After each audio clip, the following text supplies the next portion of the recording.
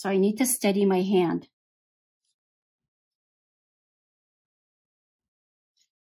So I'm just getting in some very light and gentle strokes in here.